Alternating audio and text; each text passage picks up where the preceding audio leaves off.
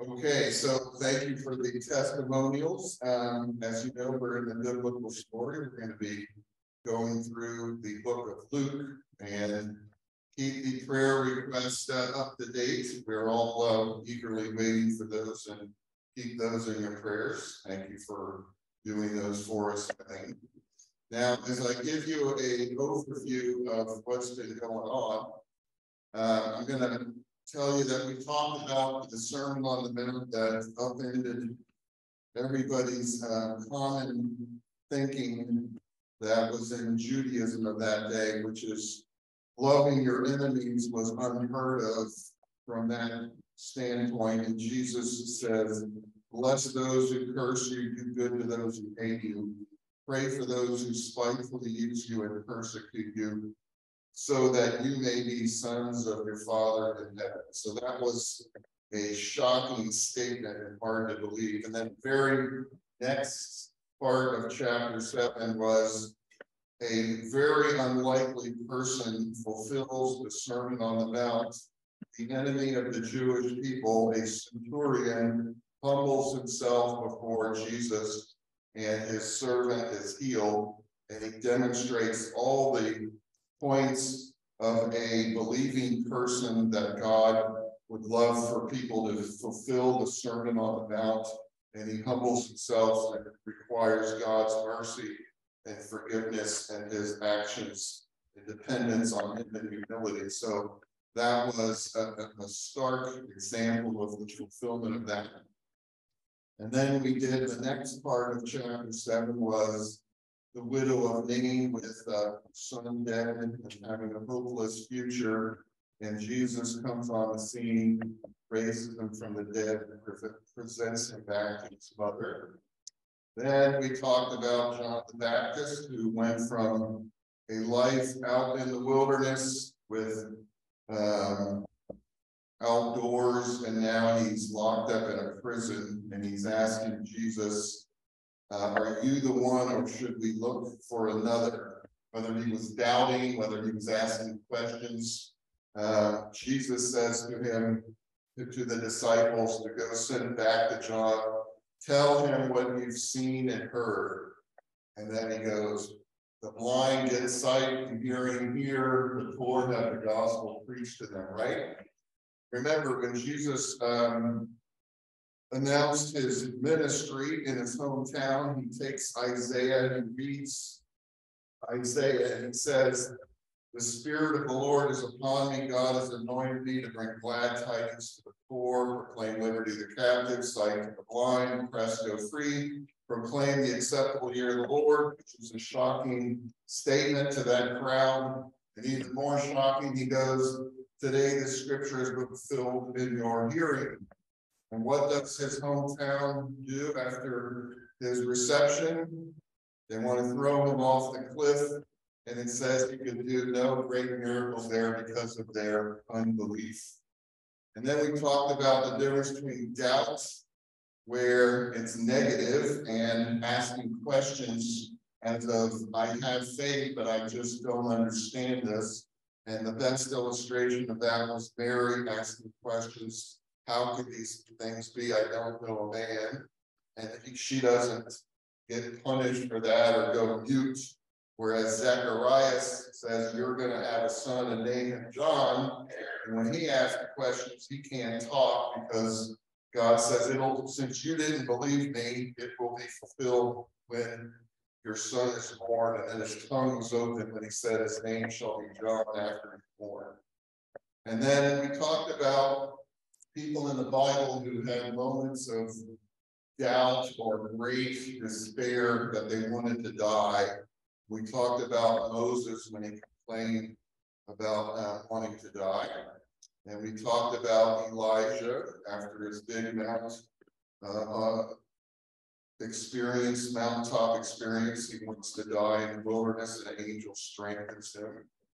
And then after all that, we read about James that says, you know, people like Moses and Elijah, they're in a tier all of themselves. I could never even promote, approach those people. And then it says Elijah was a man with a nature like ours. And what did he do? He prayed earnestly. It wouldn't rain and it didn't rain. So these were not superhuman people. They were just used by God. We talked about Jeremiah, the weeping prophet, who also wanted to die in his difficulty and discouragement, as of course, so did Job lamented the day of his birth. Paul despaired and said, um, I felt like we had the sentence of death on us, and the only hope I had was that Jesus raises the dead. So if I die, I die. Sort of like Thomas, remember? And Jesus said, We're going to Jerusalem. And the disciples go, Are you going to Jerusalem? Don't you know they're not killing there? And Thomas goes, Well, let's go with them. We're going to all die with them. Let's go. If you guess we're going to die. So it's like you're despaired of death. And it said that in the verse. We talked about what you would feel like if you were in a wrath, lost at sea like this guy for hundreds of days. What would be the one thing that would give you hope that kept you alive through that experience and it's being rescued, right? So we talked about what is our hope. So Christ in you, the hope of glory. And we said faith is confidence in what we hope for, assurance of what we do not see. And you know, me in a scientific background, everything I learn about, I see it, I can explain it, and it's all physical. But this is not that. This is see, believing something you can't prove or see. And then we talked about that famous saying that Jesus said that, you know what you guys are like, you religious leaders, you are like a children playing in the marketplace once they play a dirge and you don't play along and mourn, then we play the wedding feast joy song and then you don't dance.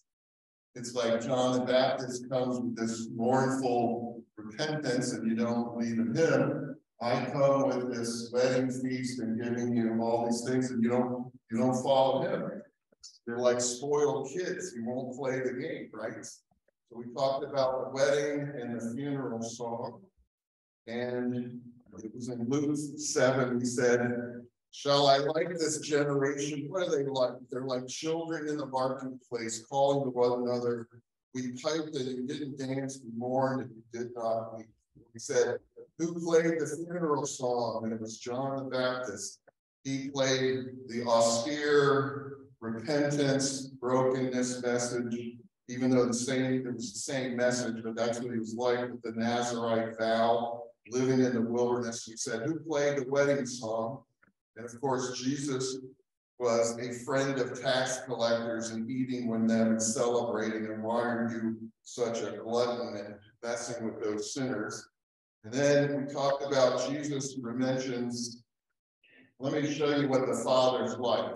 If there is one sinner who repents, there is joy in heaven. And if there's one lost sheep, he leaves the 99 to go to the other and get him, and then he has a celebration. And then I like this part of the verse It says, John the Baptist, to show you where that came from, came neither eating bread or drinking wine, and you say, he has a demon. I, Jesus, the Son of Man, using Daniel's title of Messiah, I come eating and drinking, and you say, Look, a glutton, wine bibber, friend of tax collectors and sinners. And they also called him a demon, too, by the way. And he did things by demons. And he goes, Wisdom is justified by her children. So we saw the message was whether it was a funeral or wedding, you didn't believe, dirge, celebration, isolation, public, you concluded, you concluded both have a demon. And we said John called for a fast, you rejected him. Jesus called for a feast, you rejected him. John said the kingdom was a fire, you rejected him. And I said the kingdom is a festival, and you rejected me.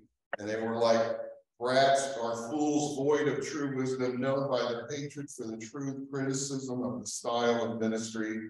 And the children of wisdom were saved and known by their righteousness. And then we said, um, in Paul, it was talking about those who have violated their conscience and their faith has been shipwrecked. And that was going on even after Jesus' resurrection and ascension. And so what come right after the children in the marketplace parable? In the book of Matthew, it was judgment where he upends Chorazin, Capernaum, and said it'll be greater for Sodom and Gomorrah than for you at Tyre and Sidon. So that was what was waiting for them for their rejection. And he said, by the way, John the Baptist was a burning and shining lamp that I sent. You enjoyed the light for a little while, but then when he got thrown in prison and all that, you ultimately rejected him too. And so there was John in prison and never to be seen again after that moment because he was beheaded and he was in the Machaerus prison of Herod's palace, which would have looked like this and looks like this now. And so we mentioned that the Pharisees were similar to which prophet in the Old Testament who didn't want God's mercy, grace, forgiveness for their enemies. You remember? It was Jonah, and Jonah lost his temper and said, the reason I ran away is I know you're a merciful God and you would have forgiven those Ninevites, and I don't want you to give forgive them because they're my enemy. We're back to the Sermon on the Mount. That's what we do, do to your enemy, right? So Jesus, John the Baptist came to the same conclusion about the Pharisees. What was their famous words for them? What did he call them? You brood of vipers, you snakes, right? So that was John the Baptist. Here's Jesus. And it says, Woe to you, teachers, law, Pharisees, hypocrites, snakes, brood of vipers. How will you escape the condemnation to come? Woe to you, scribes, Pharisees, hypocrites. You shut up the kingdom of heaven and you don't go yourselves and you keep others from going. So the word scathing was given to them. They were called all of these names, right? And what did Jesus think of the generation that he came in? He said, Oh, you faithless and perverse generation, how long shall I put up with you? That's pretty bad, isn't it? And Acts says with Paul and with many other than Peter, with other words, Peter solemnly testified and kept exhorting them, saying, Be saved from this what? perverse generation. And what does Paul say in Philippians? So you may be blameless, pure children of God without fault in what? A crooked and perverse generation. And what are you going to do in that perverse generation? You're going to shine as lights in the world, right? Now we go to today's message. And this is the message of today. And you can see um, the picture speaks a thousand words. And we're going to talk about the characters in this lesson. So here we go. Go to Luke 7, verse 36, if you're not there. It says that one of the Pharisees asked him to eat with him. Now, that was at least a good gesture that a Pharisee's asking Jesus to come eat. So Jesus didn't just go with tax collectors. He actually goes with the Pharisee. He obviously could have had bad intention, but at least he invited him. So he asked him to eat, and then he went to the Pharisee's house. He sat down to eat. And then um, in those days, you would eat with your doors and windows open. People would know Jesus is there. There's a crowd, and people would, sort of sit in the periphery in the dark area and watch what's going on and listen in Okay, so it's not like this is a crazy, someone's walking into my kitchen and I didn't even invite kind of thing. But it is shocking that how it happens. This, this is a shocking statement. If you were there and you had your mentality, you're trying to put yourself in their shoes and what they think of people. You know everybody in your town who's like obviously publicly doing bad things and others who look religiously and they look like they're good, but they don't really know the heart. And then it says, Behold, a woman in the city who was a sinner, which means she's a prostitute. She knew that Jesus sat in the table in, in the Pharisee's house. She brings an alabaster flask of fragrant oil. She stood at his feet behind him, and they're not like sitting in a table chairs like we are, sort of reclining with their dirty feet away from the table. Okay, stood at his feet behind him, weeping. and she's washing his feet with her tears. Now just picture this and what you would think about this. This prostitute, the guest of honor, is having tears on his feet, and she's washing them with her hair. He wipes, she then she kisses his feet, okay, and then anoints them with fragrant oil. Now, what do you think you would have thought? Well, let's see what the Pharisee thought. Now, when the Pharisee who invited him saw this, he spoke within himself, and Jesus obviously knows your thoughts and his, and he goes, This man, this Jesus who I invited, he's supposed to be this big prophet. If he were a prophet, he would know what manner of woman this is and who's touching them, for she's a sinner. So if it, if this happened to him, he would have kicked her away and get away from me right? And Jesus doesn't do that. Jesus said, now here's how Jesus loves to teach. He doesn't say, look, Simon, there's evil in your heart for thinking that thought. He goes, Simon, let me show you a little analogy, and then he's going to convict himself with his answer. That's the beauty of Jesus um, dealing with these people. So Jesus answers, says to Simon, Simon, I have something to say to you. And then Simon's thinking, okay, this is an awkward situation. What am I going to answer? Because this, he's going to tell me something maybe that I don't want to hear. So he goes, teacher, say it. Let's hear it. There was a certain creditor who had two debtors. One owed 500 denarii, which was um, two and a half years' wages. Another owed 50, two and a half months' wages. Okay, that's the, here's the parable. Two and a half years, two and a half months.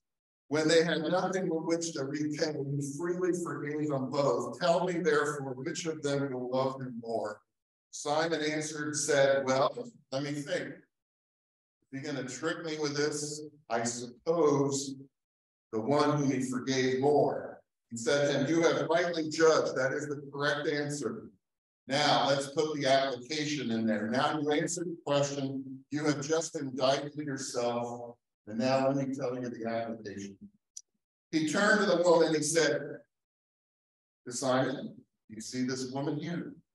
I entered your house. You gave me no water for my feet. She's washed my feet with her tears. You gave me no towel to wipe them off. She wiped them with the hair of her head.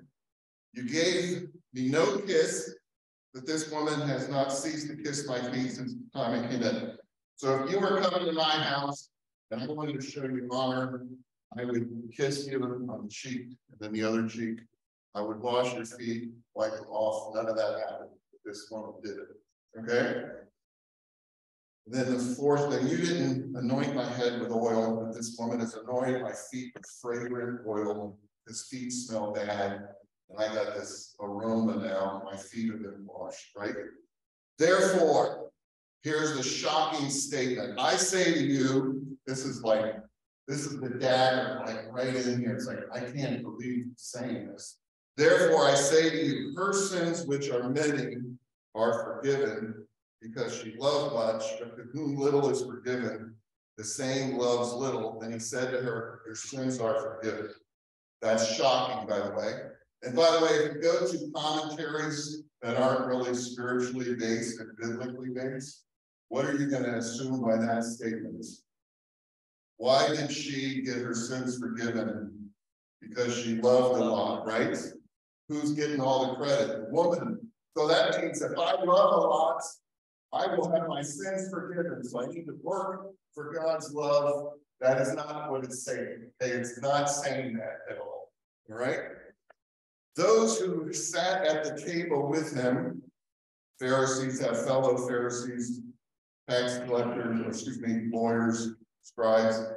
Who is this who even forgives sin?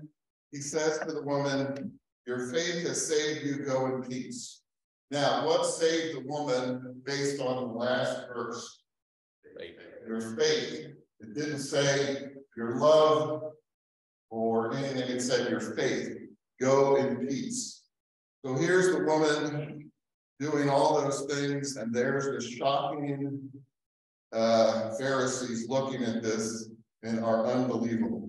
So what are the three things Simon failed to do for Jesus? We went over it, right? What were they? No water for the feet, no kiss of greeting, no oil for head. He's the one who owes two months' wages because why? He didn't love much. She owed two and a half years. And it's because in his mind, I'm not a sinner. I don't need your forgiveness. I don't need anything. I'm just self-righteous, right? That's his, that's the analogy, right? And then the Pharisee was judging Jesus. He comes to the wrong conclusion. He doesn't understand grace, common theme, and he has these mixed ideas about Jesus. What are the three things we know the, the woman that contrasted with Simon's behavior? She owes two years of wages and she loves much because her debt is so great and she comes in brokenness and gets this big debt forgiven. She washes feet with tears, dries with her hair, kisses his feet, anoints with perfume, right? She previously lived an immoral life. So remember when Jesus was accosted by the woman who committed adultery, goes, You are forgiven, now go sin no more. So you assume they break their lifestyle, although they're still sinners, right? So this was um, the breaking of her lifestyle potentially. She was still living with the stigma. She was clearly repentant, remorseful. She heard Jesus was at the house. She anoints him with oil and she's overcome with gratitude and love. What was the contrast with the other actions of the woman and Simon and their inner heart? So we saw the external, but Jesus saw the inside, which is where the real lesson is, right? That's where the lesson is. So what did you notice about him? The host, Simon, gives no water, she gives tears. The host, this is all external, gave no towel, she gave her hair. The host gives no kiss, she keeps kissing his feet. The host gives no cheap oil to get the bad smell away. She pours expensive perfume. Now, why does Jesus forgive the woman and not Simon? Because the woman had faith in Jesus and that he was go, able to forgive her sins, to ask for her forgiveness and her brokenness. And Simon did not see a need for forgiving his sin, right? I love this little package verse, don't you? Ephesians 2 8 9, a famous memory verse. For by grace are you saved. What is grace? Remember the definition? What's grace? Unmerited favor, What's the acronym GRACE stand for, if you'd like to remember that? Thank you. You are correct. Did you hear what Robert said? God's riches at Christ's expense. G-R-A-C-E. Great memory verse when you're trying to talk about that. Grace, are you saved? How is that happening? Through faith it's not of yourselves, it's a gift of God. You accept the gift. You don't say, here's some money to pay for it. You just say, thank you, I don't deserve it. Not of works, lest any man should boast. And then what's the next verse we never quote? Anybody? The next verse. Where you are created unto good works, because God created it for your workmanship. So there is works, but notice the right place of the works. Okay, grace, are you saved through faith unto good works, not works plus salvation, not works. So that verse has the whole testimony of the truth of the gospel, right? So what was Jesus's role in the story in the parable? So we just did Simon, we did the woman. What about Jesus? Jesus is obviously God. That's why they're shocked that he can forgive sins because he's saying I'm God. He acknowledges her many sins. He acknowledges her love he can see the heart. He also sees Simon's heart, doesn't see great love. Jesus publicly pronounces forgiveness. You're forgiven to everybody so you can hear, I have the power to do that. The people wonder about how can you do that? You're either blaspheming or you're God. And they acknowledge the woman's faith. Now, when I taught this, I took my son to Lowe's and as I'm coming out, there's a woman with a two-year-old with a sign that says, I'm needy. So as I was walking by, I was thinking, do I just ignore her? and so I take out my wallet and I give her three bucks, right? And then as I get to my car, I think, why didn't you give her 20 bucks or something like and I thought, wow, you know, did I love little because I her little? And I'm like, what is the lesson I'm supposed to learn? It's like, I understand, I don't want to get into the debate of giving people money and they don't do bad things with it, but you know, the point is, what is your heart? It's like, God, is this a test and I just failed it? Or did I get a C minus? What does, what does that, I didn't want fire. It's like, you know, I ask myself, what is the application? So anyway, that's for me to worry about, not you, but it's just a thought. Okay, so how is love and forgiveness related? She loved much, and you was forgiven much, but it's really not about her love, it's love, right? It says to you, and this is these are the verses with love and forgiveness together. It says uh, in the verses 47, I say to you, her sins are many and are forgiven because she loved much. That's not why she pursues the faith. To whom little is forgiven, the same loves little. He said to her, Your sins are forgiven. So John 3 16 is implied. Why did Jesus die on the cross?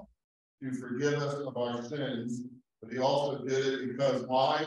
He loved us that much, and God the Father sent him. And John 3 16 says, How much did God love us? God so loved the world, he gave his one and only Son, that whoever believes in him shall not perish but have eternal life.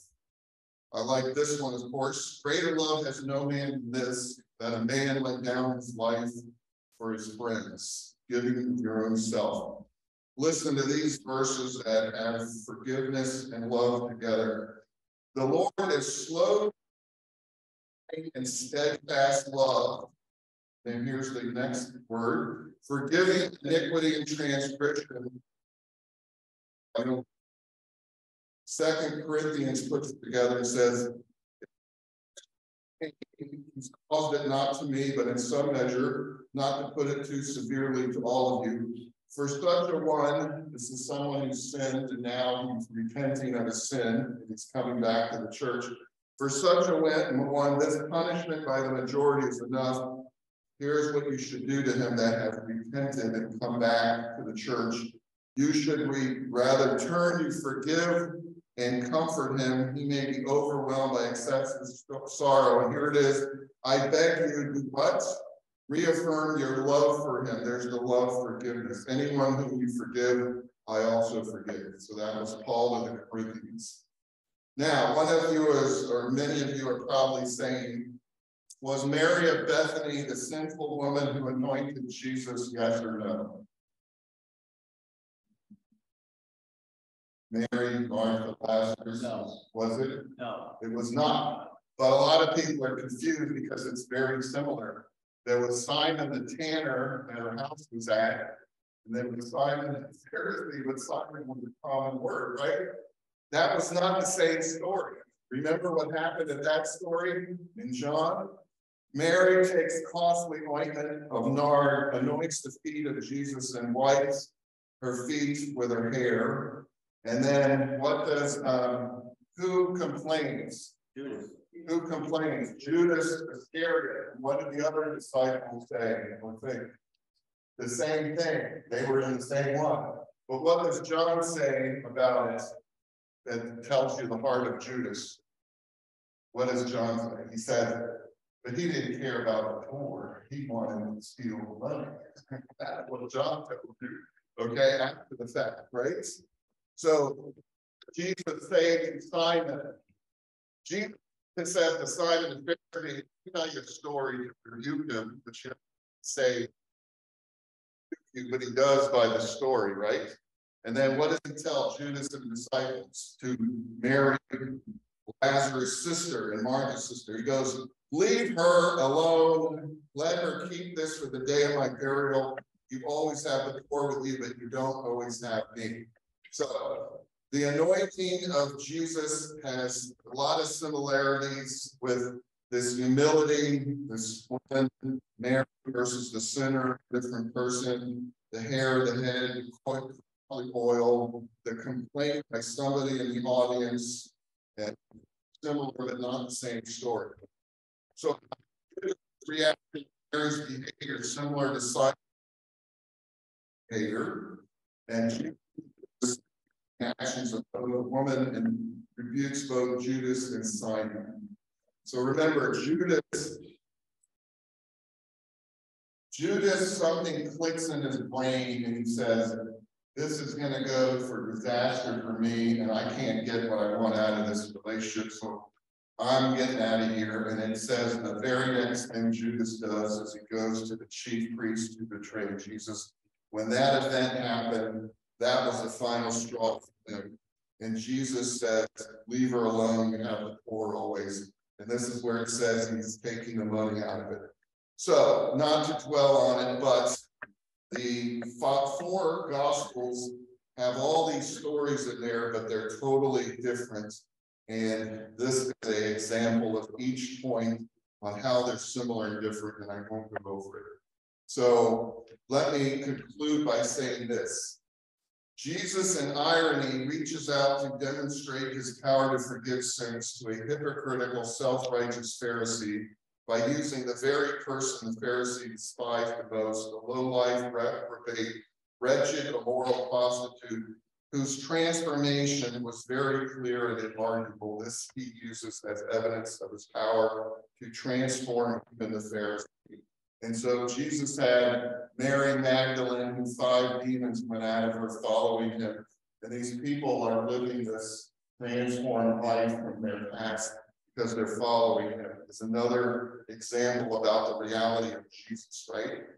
And so, how is this story like the parable of the two sons? You remember the parable of the two sons? So one son, the, the father says to the son, son, go into the vineyard and work, and then come back at the end of the day. And the son goes, yes, dad, I'll go, and he doesn't go. And then the second son, said the same thing, and then the son said, no, I'm not going, and then he walks away. But then he feels bad and he goes.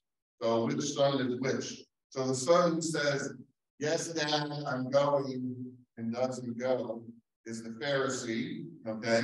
The one who said, no, dad, I'm not going, but then goes, is actually the tax collectors and the prostitutes, right? And what does Jesus say about those two groups of people?